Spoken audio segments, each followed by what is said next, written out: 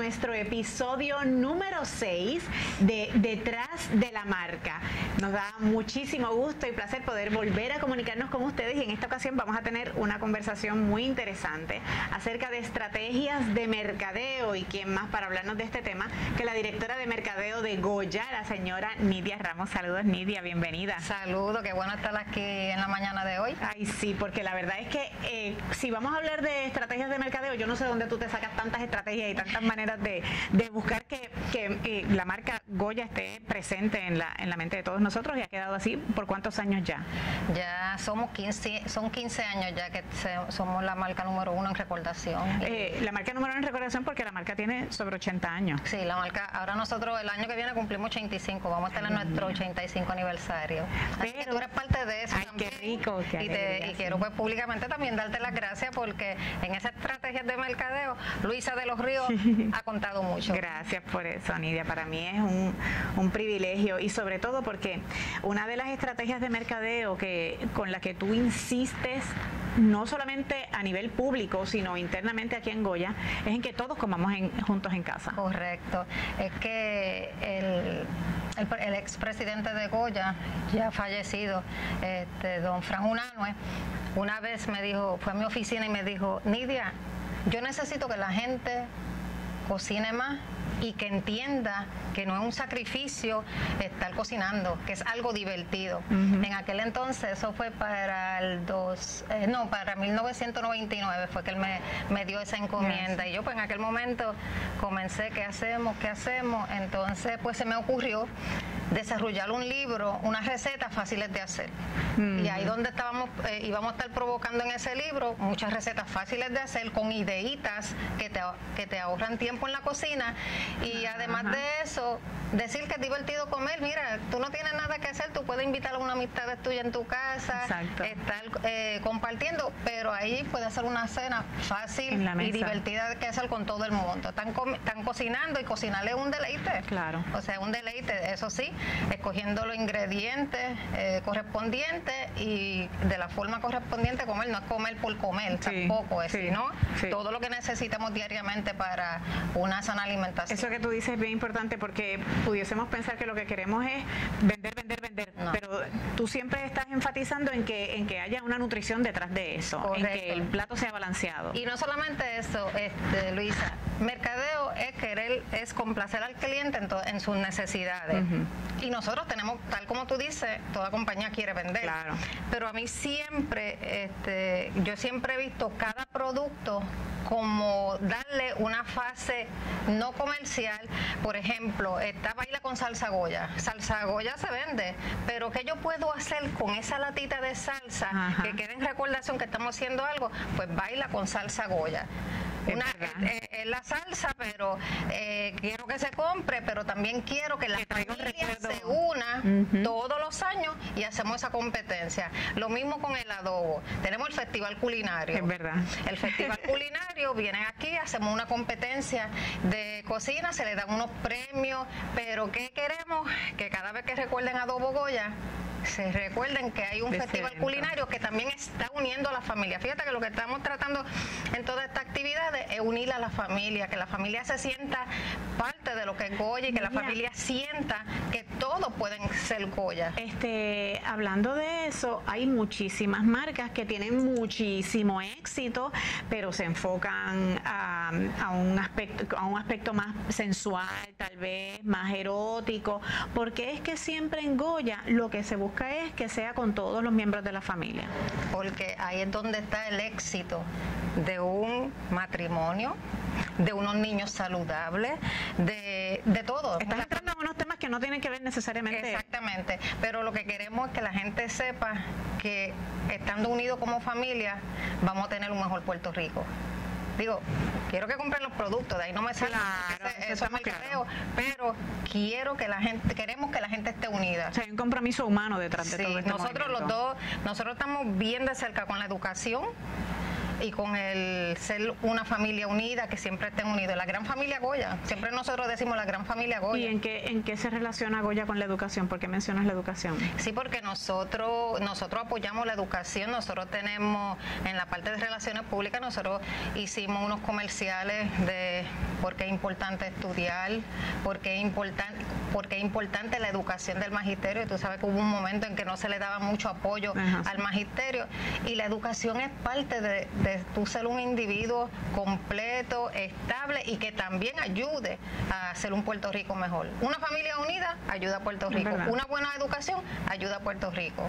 Y el ejercicio de sentarse la familia a la mesa eh, ha probado que, que, tiene unos resultados favorables para el hogar, pero también para la sociedad. Sí, seguro que, eh, seguro que sí, porque cuando tú estás reunido en familia, tú estás con tus hijos, tú tienes ahí un, una, un, un momento para estar comunicándote con tus hijos. ¿Qué quieren tus hijos? un vocabulario mayor, una confianza.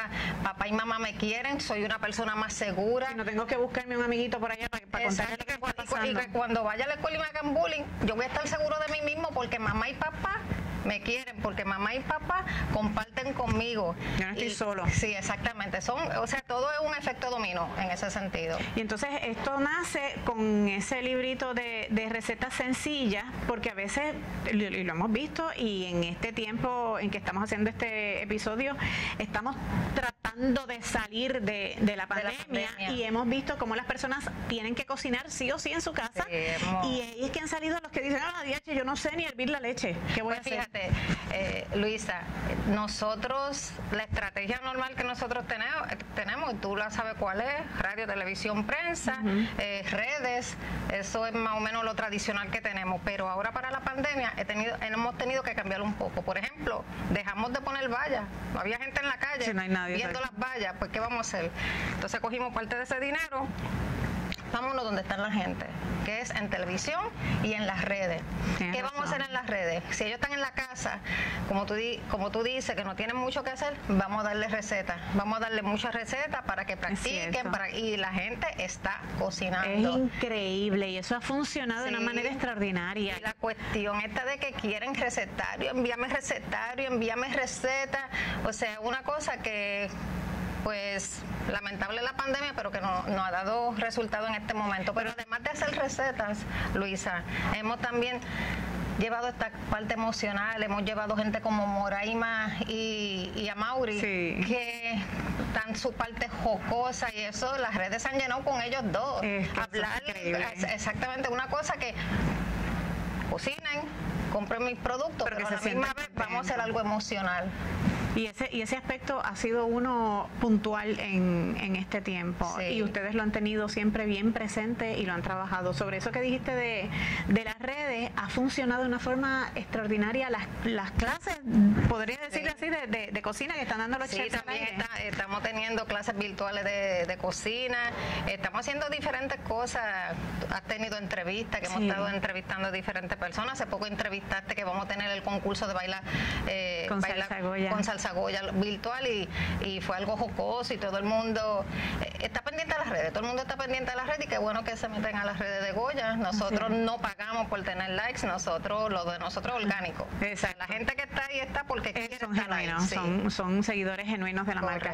Y, y, en este tiempo, y volvemos verdad a, a estar juntos en la mesa, ¿ha habido algún, has notado algún cambio en, en los núcleos familiares que son más allegados a ti de por qué, del resultado de sentarse juntos en la mesa? Fíjate, ah, el periódico ha dicho de muchas cosas que han pasado negativamente por estar eh, en, la familia este, sin tener que trabajar y estar en aislamiento, eh, como estábamos ahorita hablando fuera de cámara, cosas negativas que han pasado, que eso es otro tema, pero hay mucha gente que se ha apoyado, hay mucha gente que, que se ha unido, entonces papá se ha unido con mamá para cocinar y para estar con sus hijos. Fíjate que están cocinando, pero están compartiendo con sus hijos. Es que cocinar sí, lleva una, una, no hay eh, forma de tú cocinar por un lado y yo por el otro, la cocina es una. Nosotros comenzamos con este libro de recetas que fue todo un éxito eh, eh, y luego de eso pues dije, vamos a hacer algo más fui al departamento, fuimos al departamento de educación en ese momento y le, le dijimos que quería, queríamos llevar clases de cocina, eh, que tú también has sido parte de, esto, que queremos llevar clases de cocina a, a la escuela pública y nos dijeron que sí. Eh, obviamente estábamos visitando solamente la escuela intermedia donde estaba el programa de, de eh, cocina. se le llamaba, ¿cómo es que se llamaba antes? ay, Dios mío. Como economía doméstica. Economía doméstica, ahora tiene otro nombre de la familia.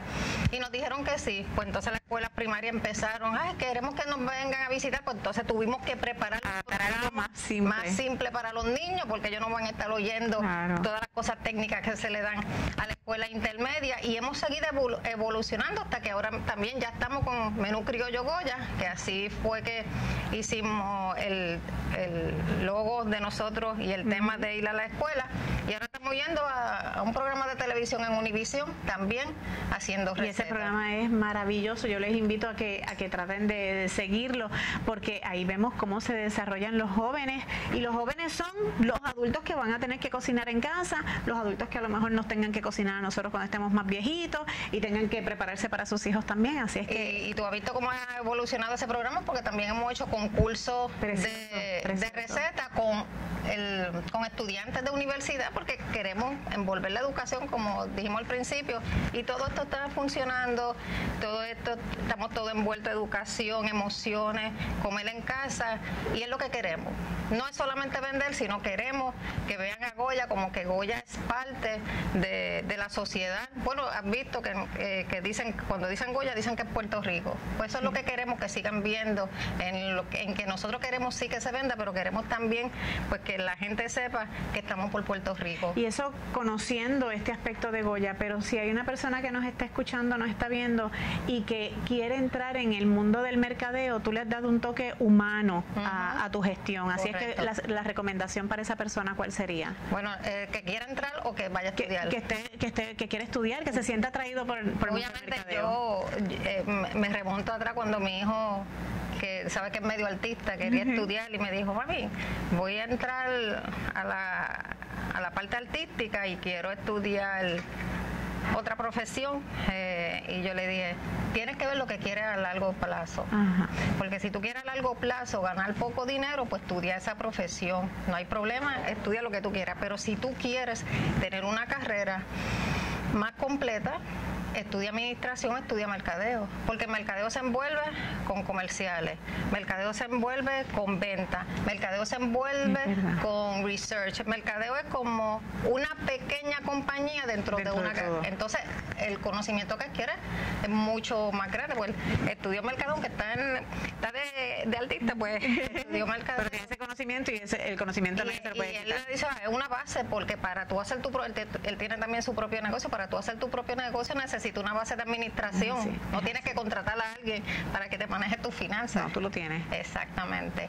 Y mercadeo es una, vuelvo y digo, mercadeo es una, una parte de la educación que te enseña un poquito de todo y de ahí tú eliges dónde quieres estar. ¿Quieres estar completamente en publicidad? Te queda completamente en publicidad. estás preparado para manejar esas Exactamente, exactamente. Pero también lo importante es estudiar, Luisa. Lo importante es que nadie se quede eh, sin estudiar. Tenemos oportunidades. En Puerto Rico hay oportunidades para que todo el mundo estudie lo que quiera estudiar. Y eso es lo importante, marcar, que no te tienes que quedar en tu casa, como dice la campaña de nosotros. No tienes que ser un quedado. Exactamente. Estudia lo que tú quieras, pero es otra campaña bien bonita.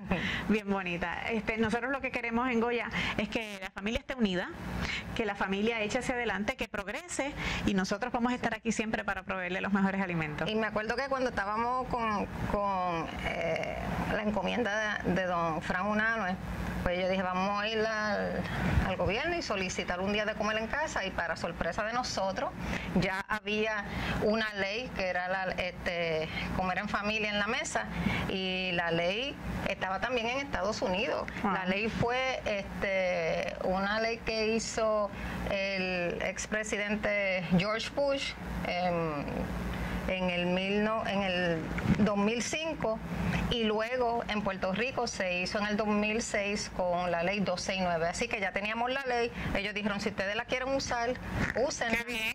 Y entonces pues por ahí hemos seguido con el Día de Comer juntos en familia, que es el cuarto lunes de septiembre y nosotros hemos empezado desde ahora.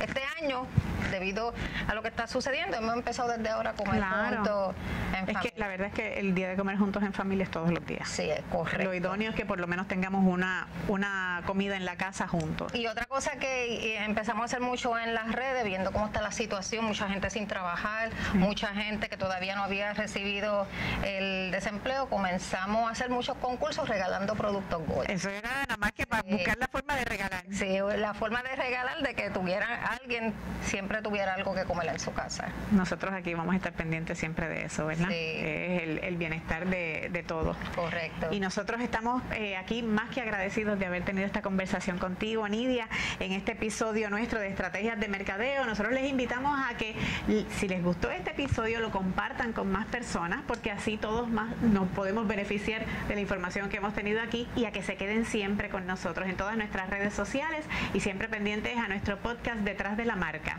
Y es la marca es Goya, porque si es Goya, tiene que, ser, bueno.